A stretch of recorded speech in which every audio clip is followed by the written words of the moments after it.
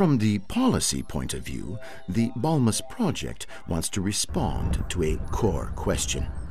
What Adriatic states would need in order to properly implement the global standards set by the international maritime community?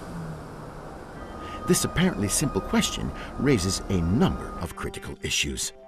Firstly, we should consider that huge private shipping investments are certainly needed in order to comply with the Ballast Water Management Convention requirements.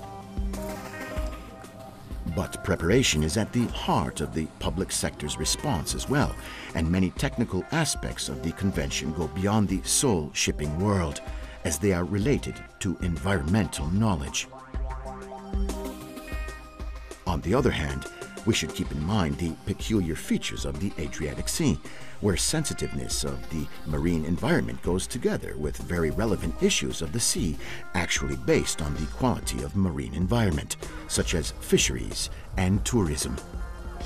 These sea uses actually represent important sources of income and jobs for coastal nations, and whether both states and the commercial and shipping communities weren't able to properly implement the global rules, these economies might be exposed to an important danger.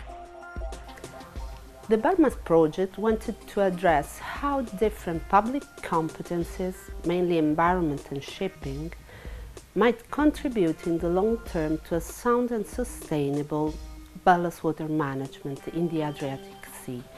To this end, we foresaw a so-called strategy for the implementation of the project deliverables, providing specific recommendations, suggesting available options, and underlining existing opportunities uh, offered by the actual uh, legal framework strategy will address is the need to implement the convention coherently in the basin in order to facilitate that national measures are taken in a way as much uniform as possible.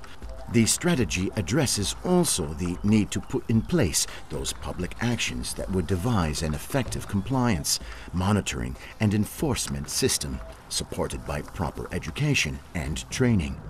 And last but not least, the strategy takes into consideration the financial sustainability of these public actions as an essential component for an effective national implementation of global standards.